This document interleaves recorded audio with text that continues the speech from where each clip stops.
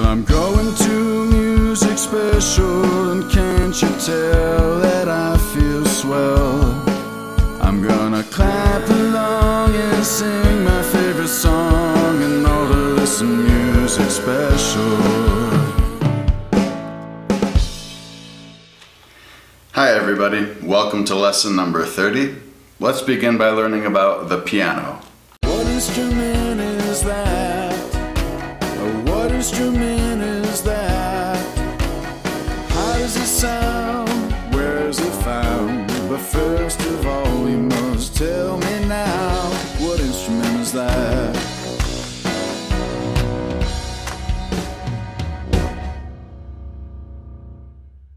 The pianoforte, or as it's commonly known, the piano, is a keyboard instrument. It is played by depressing a key or keys, which lift a damper as hammers hit strings inside the case to create sound. There are typically 88 keys on a piano keyboard, and the sound may be sustained or dampened using foot pedals. The piano comes in various sizes and is quite versatile, having a wide range of pitch and expressiveness. Pianos are included in many musical genres ranging from classical to jazz and popular. We learned that, well, we learned how it's played, we learned what mechanism makes the piano play inside of it. It's really better if you can see that.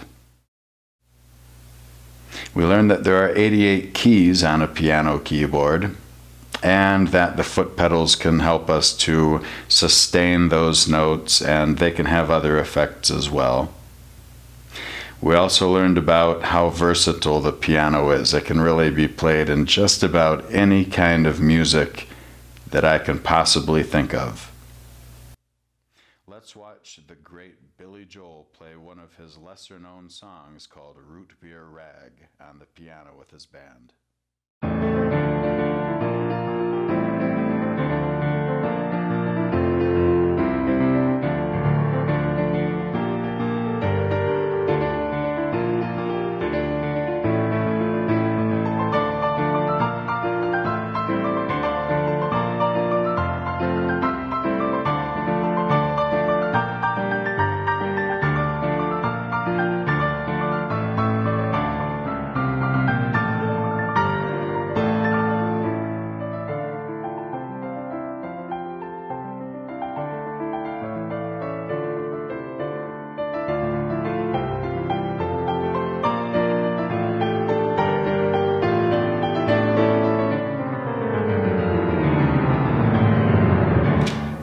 Let's play Guess What Instrument. Guess what?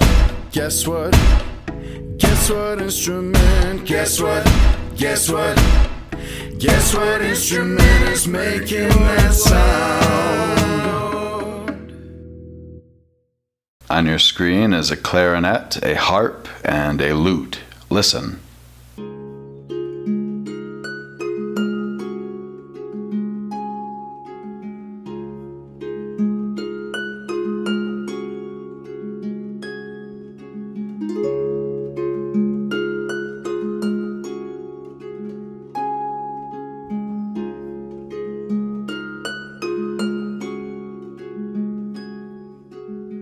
That was a harp.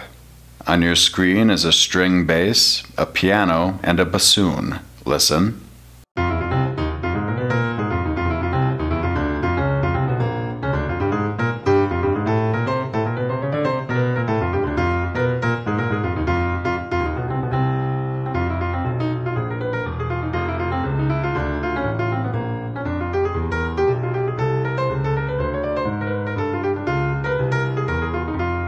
Was a piano. On your screen is a bass drum, cymbals, and a mandolin. Listen.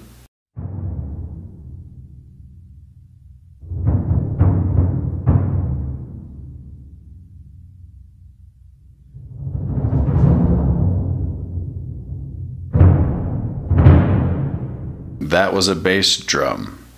Now let's talk about whole and half steps.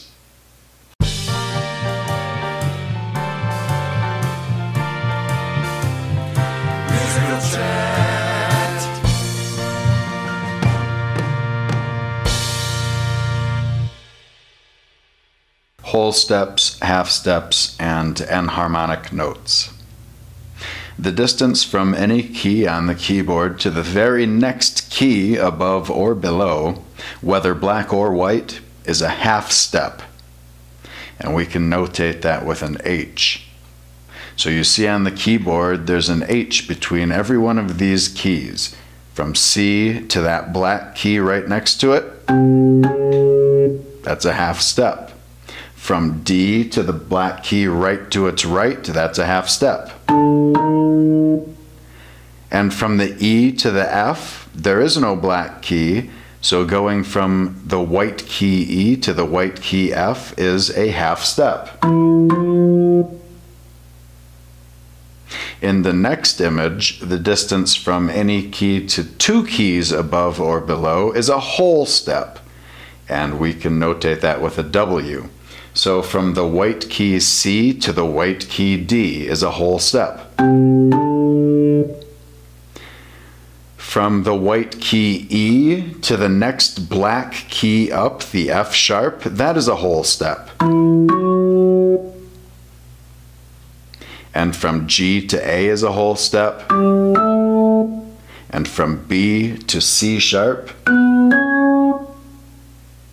those were all whole steps. So in the example image, we can see those keys, which are enharmonic notes, and the names that they have. For example, C sharp is the same as D flat, and D sharp the same as E flat. F sharp is the same as G flat, G sharp is the same as A flat, A sharp is the same as B flat. And in fact, the E key is also called F flat, and the F key is also called E sharp. The same with the B key, it's called C flat, and the C key is called B sharp. Sometimes. Actually, very rarely, but it does happen, and it can be done. Let's clap. Okay, let's clap this rhythm together.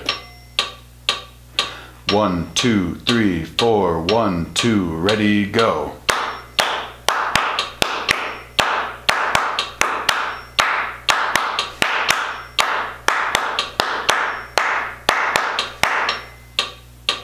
Good. Let's talk about the composer Richard Wagner.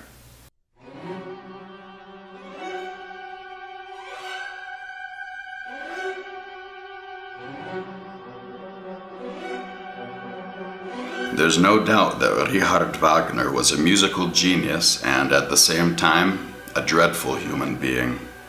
Few would argue that he was dishonorable, a liar and a cheat, Yet he had a powerful influence on opera and music during and after the Romantic period. When he was young, Wagner liked literature more than music. He became obsessed with the ideas of musical drama, or the marriage of music and tales of superheroes. Wagner's most monumental work is his cycle of four operas called The Ring of the Nibelungen. It took over 26 years to write and required four nights to hear the complete performance. He built his own theater to stage this extraordinary drama. Wagner is the master of the leitmotif that allows a short melody to suggest an idea or represent a person. He then used these musical fragments to build masterful layers of sounds you might recognize bits and pieces from Wagner's compositions. A thrilling example of his work is The Ride of the Valkyries, which we're listening to right now, from Die Walküre, one of the four ring operas.